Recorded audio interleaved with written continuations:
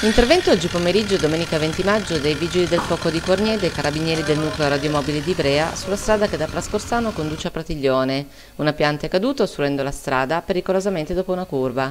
Un giovane che si è trovato davanti ha allertato il 112. I Vigili del Fuoco volontari, giunti sul posto, hanno tagliato i rami e rimossi liberando la strada.